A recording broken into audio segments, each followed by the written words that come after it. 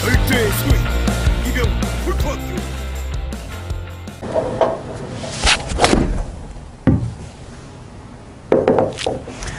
안녕하세요. 골프에 미치다 이병옥입니다. 어, 여러분들께 요즘 타이밍에 대한 얘기 많이 해드리고 있습니다. 아, 오늘 이 시간에는요, 우리 끌고 내려와라의 정의를 한번 좀 생각해 볼까 합니다. 끌고 내려와라. 우리 뭐 lagging 동작이라고 하도 뭐 delay hitting이라고 다 그래요. 끌고 내려와라. 제가 지난 시간에 여러분들께 상하 타이밍에 대한 이야기를 드렸습니다. 상하 타이밍. 그래서 내가 지금 몸이 어디쯤 있는지, 이 채가 어디쯤 왔을 때 내가 허리를 들어줬을 때 정확한 히팅이 만들어질 수 있는지에 대한 설명을 아주 자세히 드렸죠. 그 내용을 알면 이 끌고 내려오는 동작이 얼마나 우스꽝스러운진 우스꽝스러운 그러한 해프닝이었는지 여러분들이 알게 됩니다. 자, 여러분들은 서서 스윙을 해요. 예를 들어서 여러분들은 이렇게 서서 스윙을 합니다. 그러면 상하 타이밍이라는 거는 이 쇳덩어리가 떨어질 때 허리로 받아서 걷어 올려주는 형태의 스윙이라고 제가 말씀을 드렸어요. 다시 떨어지면 이렇게 해서 자 살살 다시 보여드리면 떨어질 때 이렇게 해서 허리를 걷어내는 이러한 스윙이라고 말씀을 드렸습니다. 그러면 서서 치는 골퍼들 같은 경우는 서서 치고 있는데 굳이 물론 주저앉을 땐 다른 얘기지만 서서 있는데 얘를 끌고 내려오면 아예 공을 만날 수 있는 기회가 없어요. 그렇기 때문에 빨리 펴야 됩니다. 얘는 그냥 빨리 펴야지 이 공을 맞출 수가 있어요.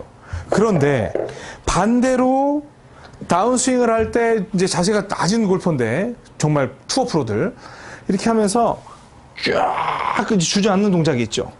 주저앉는 동작이 있어요. 그러면 여기에서 우리 그 아기들 한번 생각해 봐요. 저도 이제 어 아이들이 있는데 목욕을 시키려고 딱 넣었더니 차가운 거예요, 물이. 그러니까 딱 닫더니 발을 탁 들어요. 그러면 난 얘를 이 정도면 괜찮은 것 같아. 그래서 담그려고 계속 밑으로 누르면 내가 담그려고 하면 아이기는 이러고 있다가 이렇게 이렇게 안 빠질까 안 빠질까 웅크리죠. 왜? 아직은 내가 물에 들어갈 타이밍이 아니야. 아직은 내가 물에 들어갈 온도가 아니야. 난 절대 발을 못 담고 하면서 계속 들어 올려요. 마찬가지예요. 공이 맞는 순간이 타이밍이라고 생각을 한다면 서 있는 사람들은 굳이 이걸 갖다가 끌고 내려올 이유가 없죠. 그냥 이렇게 해도 딱 들어서 맞출 수 있으니까. 근데 자세를 낮춰서 쭉 끌고 들어온 사람들은 왜 이런 동작을 해야 돼요? 펴면 아니 아니 아니 아직은 내가 물에 들어갈 수 있는 그런 온도가 아니야. 여기까지 와야 돼. 여기까지 여기 따뜻한 온도에 와야 돼 하는 동작이 필요하기 때문에 그냥 버티고 오는 거예요. 그러다가 여기에서 이렇게 있으면 전체적으로 공을 못 맞추니까 탁 일어나는 동작이 나오는 겁니다. 그러면 제가 천천히 했을 때 이런 식으로 오면 이런 식으로 왔을 때 그냥 가면 드드드드닥 긁겠죠. 그러니까 마지막 임팩 순간에 허리를 팍 세우면서 치는 거죠. 자, 그 동작을 연속으로 해볼게요. 이런 식으로 가는 거예요. 허리를 펴면서.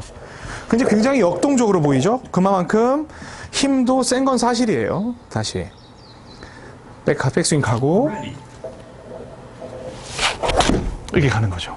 그런데 저는 지금 같은 경우는 허리가 좀 빨리 들렸어요. 그래서 타핑이 났는데 그만큼 어려운 타이밍 존에 들어간다는 거죠. 근데 서서 치는 사람들은 이렇게 섰다가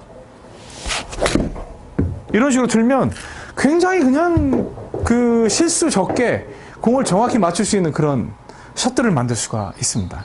우리 끌고 내려온 동작 안 해도 됩니다. 그걸 뭘 끌고 내려옵니까? 레깅은요, 되는 거예요. 그런데 그걸 갖다가 막 쪼개가지고 해서 백종원 씨가 어, 음식 맛있는 데 소개했는데 그거 막 국수 말아가지고 딱 넣는 걸 슬로우 모션으로 딱 치면서 아 저기에서 백종원 씨 들어가는 저 손목 각도 한번 보세요 입에 들어가 평범한 겁니다. 그리고 골프는요 보편성이 굉장히 중요해요. 그 우리가 길거리를 걸어 다닐 때 사람들 걸어 다니잖아요. 걸어 다닐 때 그냥 뭐 그냥 같이 간 걷는데 우리가 누구 사람들 안 쳐다보잖아요. 근데 어떤 사람은 막 이러고 이러고 걸으면 쳐다봐요. 왜? 특별하니까. 보편적인 스윙 형태면 되고요. 거기에서 일반적인 타이밍 형태면 여러분들은 골프를 치는데 어려움이 없다는 겁니다.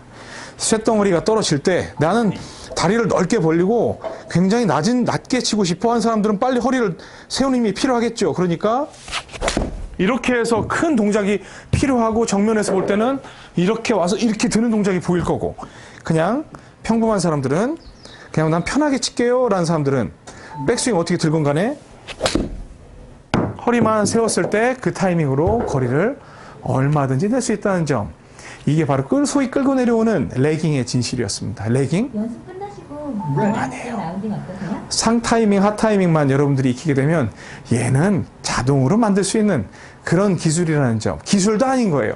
자연스러운 반응이라는 점 명심하시기 바랍니다. 이제 좀 골프 좀 그만 공부하시고 편하게 좀 치시자고요. 다 되는 동작들인데 제가 힙턴의 진실에 대해서 다음 시간에 다시 한번 말씀드리도록 하겠습니다. 지금까지 골프에 미치다 이병옥 골프학교 원장 이병옥이었습니다. 감사합니다.